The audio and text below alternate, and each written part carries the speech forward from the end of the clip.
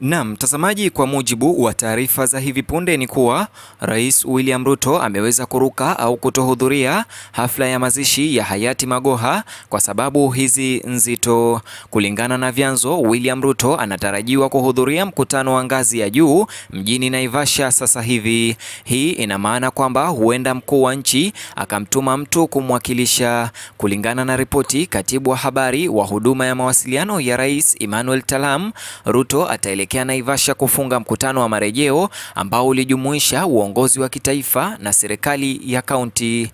Mkutano huu kwa hivyo utamzuia mkuu wa nchi kulipa safari zake za mwisho kwa aliyekuwa waziri wa elimu George Magoha. Nikirejelea chapisho hilo la gazeti la The Star, President William Ruto will not attend the burial of former Education Cabinet Secretary George Magoha in Siaya County. Presidential Communication Service Press Secretary Emmanuel Talam told The Star that Ruto will not be attending. Instead, the president will be in Naivasha to close a retreat for the national executive and county governments. Hata hivyo, tunatumai kwamba atatuma rambirambi zake kwa familia.